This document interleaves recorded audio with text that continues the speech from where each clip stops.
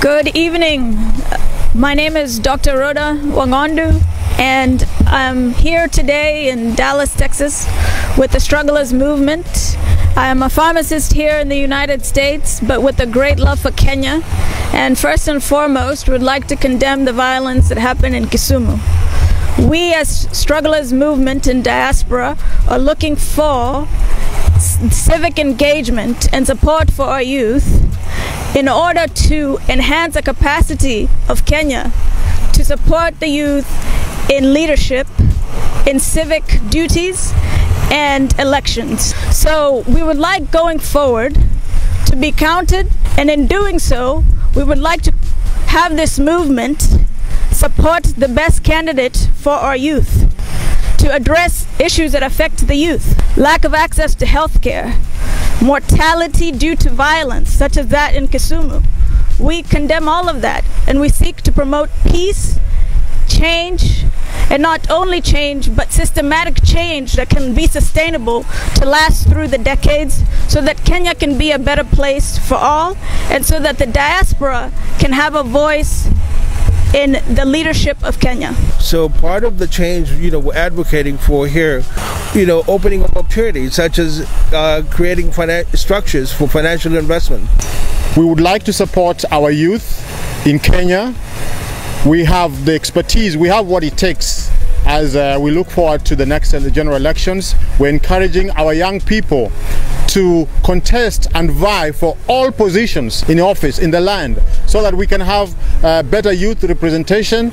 Uh, we trust that the future is youth. We are willing to put our resources, our support behind the youth leadership in our country so that we can have a futuristic leadership, a, a leadership with a future that is seeing beyond just five years of power. As, as the Kenyan diaspora, we have experienced uh, difficulties. We have struggled in trying to get a few services or basic services to us while in Kenya and even while we're here. Basic services like a passport renewal, just having your ID card or birth certificate. We are, we are struggling. Everything we're doing, not, we don't have a seamless flow of service. So we need to have an improved service. And the only way to do this is to have fresh, new leadership. We're calling upon all our youth again to contest all available positions. We would like to take this opportunity to caution leaders in their campaigns that when you're going to a specific area to campaign, uh, be sure that uh, you have the right the right spirit, the right attitude, and respect the audiences. We do not know whether the violence in Kisumu was stage managed or it was authentic. So this is something that uh, we would like to condemn and uh, ask our young people not to be involved in violence at this time. We want to have peaceful campaigns, elections, and results. And at the end of the day, we are looking to supporting leadership that is youth-oriented, people who are associated with the struggles of our independence, struggles of our second liberation, and so that we can have a true ultimate freedom, economic and political, as we look forward to the next elections. The strugglers movement is a movement that we really want to make sure that we end up the struggle. We know the people that have struggled for our country. We know the people that have been there for us. And we know the people that have the best interest of our country. So we're asking all Kenyans, both in their diaspora and in Kenya, uh, uh, our country that we love so much, uh, we'd like you guys to focus on this election because it's a critical time that we all have to be real on choosing the right people in this forum the people that are going to lead us in the uh, uh, in the coming election, the people who are going to lead our country in the right direction, people who have interest in our country.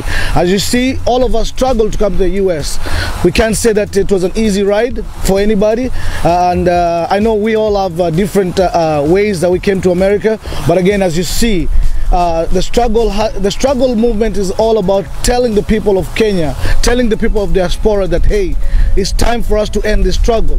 So we'd like you all to support uh, the struggle movement and also in all areas and uh, in all aspects of uh, uh, our country to choose the correct and the right people that have the best interest of our country.